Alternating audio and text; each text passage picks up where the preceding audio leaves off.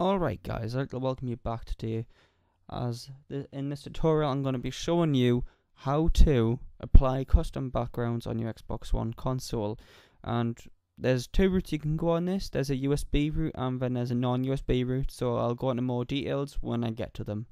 So guys, what you have to do firstly is go to settings to access the, the area that you need to touch on on. So as you can see it's says my Xbox then on my, on my Xbox, it'll say my background.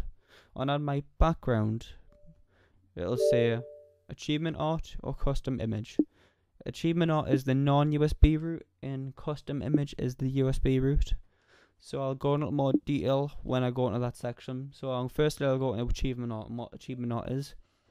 So basically, as you well, once it loads, uh, once you as you can see here, I have all these games. So the Evil Within, for an example. Uh, these are what me achievements I've got. Well, these are what's on. Uh, so as you can see here, on the on the corpse mount, and if I hit that, it'll bring this menu up. And this in this menu, it'll say background set. After when I select it, I'll go back. It'll change, and that's how you change it by via the like the art achievement art section. So that's it. That's that way. But if you go back here, and then there's custom image. In, in custom image, this is when you this is when you are required to have the USB stick. You cannot do it any other way. And if you movable storage. So as you can see in rem removable storage, I have a picture of Sunset Overdrive on. I selected it and this is really vibrant artwork. So as you can see there, it's really then select it as background. And as you can see, it's changed the background, but the achievement art is good. But the custom images are better.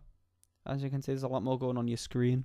There is a service on Twitter and Facebook. It's called Windows Phone Wallpapers. The links are in the description below.